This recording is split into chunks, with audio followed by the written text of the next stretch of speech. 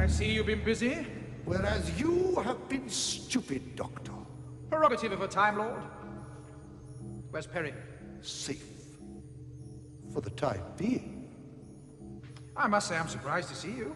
The last time we met, your ship blew up. I thought with you on board. Not when there is an escape pod to be had. Or it seems a lift by a transporter to this place. Ah! There I was, fortunate.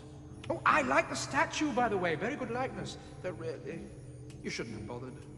As with the news of Stengos' death, it was all part of my scheme to lure you here.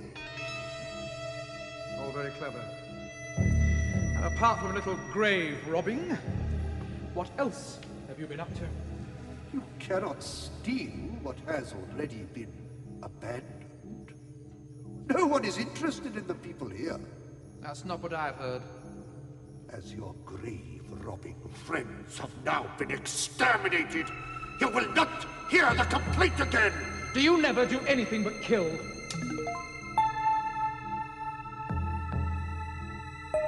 you are mistaken, Doctor.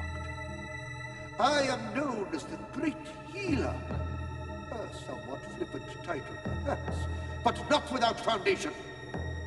I have conquered the diseases that brought their victims here. In every way, I have complied with the wishes of those who came in anticipation of one day being returned.